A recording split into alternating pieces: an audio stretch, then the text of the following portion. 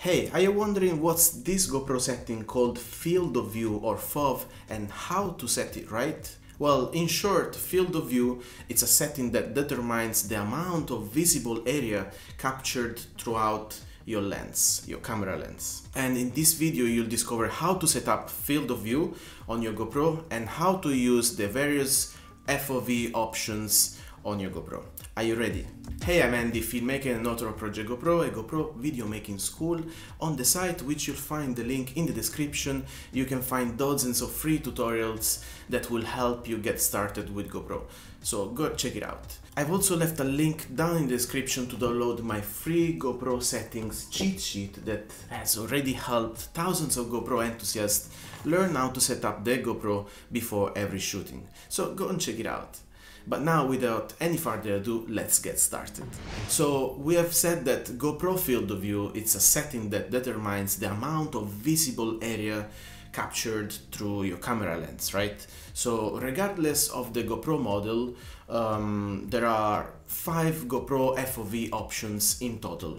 The Super View FOV and the ultra wide FOV with a fisheye effect um, then we've got the medium FOV in all their GoPro models, the linear FOV and the narrow FOV. Now, on any camera model, you might only get three or four FOV modes, like we, we can see here on this GoPro Hero 8, there are four. Um, let's take a look at them closely.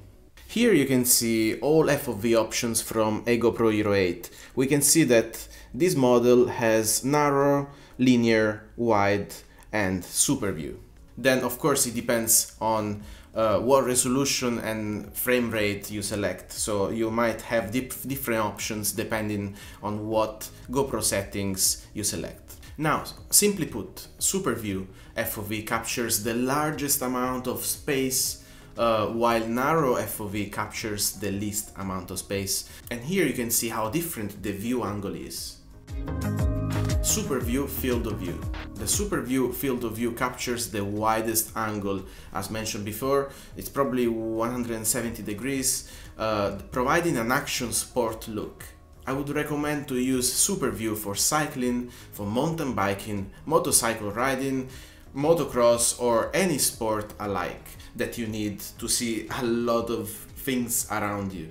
Be aware that this mode has a relatively strong distortion. I love this angle also for indoor using, um, like if you want to show around a house or even to film in a small place with ease. Wide field of view. The wide FOV is great for both general use and action. I would recommend to use wide FOV for shooting travel, cycling, mountain biking, hiking, drones, skiing, snowboarding, underwater activities and any fast action scenes really. Combine the wide FOV with a high frame rate setting like, like 120 FPS and you will turn your fast action scene into a cinematic masterpiece. Bear in mind that wide FOV will produce a slightly distorted image with a fisheye look, which you can then fix it in post-production if you don't like the fisheye look. Linear FOV.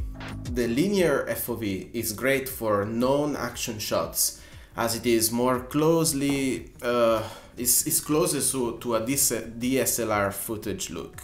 I would recommend linear FOV for vlogs, travel and some drone shots. However, linear FOV is, is not available in all video sizes and frame rates. That's because the software processing has to cannibalize information around the edges of the frame. This option also varies by the camera model. Narrow FOV. Narrow FOV is the narrower um, field of view that we get on GoPro cameras. Narrow is usually used for recording content at a distance like medium FOV, it also zooms in on the center of your shot. Now, why would you want to change the field of view on your GoPro, you might ask? So changing the field of view affects not only the viewing angle, determining what makes it into your shots, but the look and feel of your image that could vary from action sport look versus standard DSLR look. Now, let's take a look how you can switch FOV setting on the GoPro. How to change the GoPro field of view.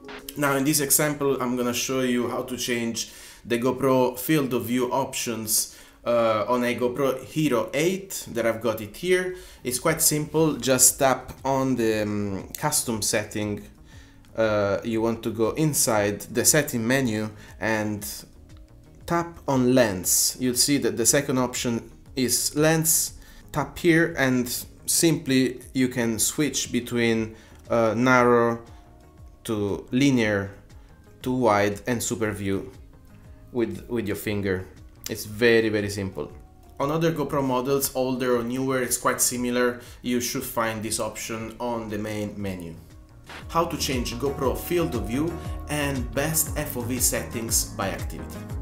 So how do you choose FOV? Well, normally if you are planning to shoot in, a, in wide areas, indoor spaces, especially in small rooms, or you know if you're recording fast action sports then aim for a wide angle that will also have a fisheye looking effect. These settings can be either super view or wide FOV if your subject is far from you medium and narrow FOV are more appropriate I think uh, linear mode is often used in some aerial drone photography on the GoPro setting cheat sheet, you'll also find optimal, optimal field of view settings for most filmed GoPro activities, so go and check it out. Uh, you can download it for free in the description below.